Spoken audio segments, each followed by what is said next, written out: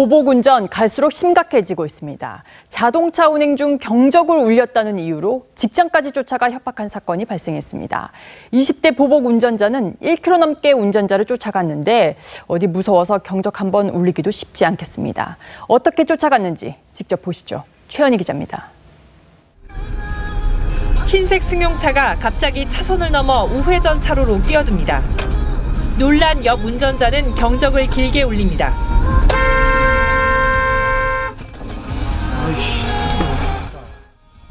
이 경적 소리에 발끈한 27살 유모 씨의 복수 운전이 시작됩니다. 28살 김모 씨가 몰던 차량 옆에 나란히 따라붙습니다. 수시로 상향등을 켜고 경적도 마구 울립니다. 1km 넘게 이어진 유 씨의 추격은 김 씨의 직장 내 주차장까지 계속됐습니다. 차단기를 강제로 밀고 회사 안까지 들어왔습니다.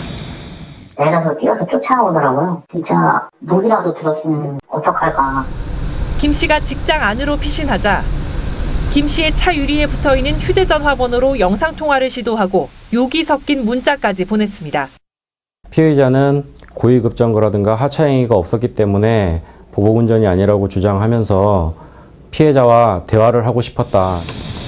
제보를 접수한 경찰은 유 씨를 기소 의견으로 검찰에 넘기고 면허 정지 100일 처분을 내렸습니다.